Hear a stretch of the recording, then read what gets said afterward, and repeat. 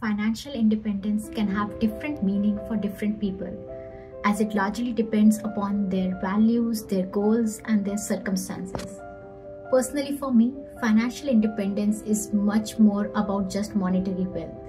It is about equality, it is about empowerment and above all, it is about shaping my own destiny without any gender-based constraints. Thank you. So for me, and I think it's safe to say that I speak for a lot of women here, uh, financial independence is a lot more than just earning money. It is about freedom. It's about the ability to make choices without being held back by financial limitations. To me, it means living life on my own terms, free from the need to stay in situations that don't serve me, be it a relationship, a job, or anything that does not feel right. It's about having the security to chase my dreams and the power to decide my own future and make my own choices.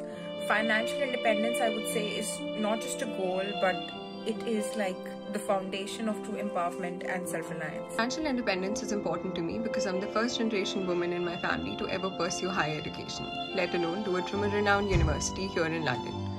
Women in my family would always have to put their hands like this in front of a man to fulfill their basic needs. My mother and my grandmother did not want me to do that. They gave me the tool to reach where I am, which is education. They taught me that women can also put their hands like this and say, Yes, I did it. Financial independence gives me the platform to be where I want to be, to excel in life, to be able to do things at my own pace. Earning money for a man is a privilege. Earning money for a woman is a blessing. It does not make me superior to you, it only puts me where you are so that we can look eye to eye we can walk together and make this world a better place. So, this year, if you see a woman who is doing well in her life, rather than questioning her achievements, let's celebrate her achievements. Thank From Earth to space, women have come a long way.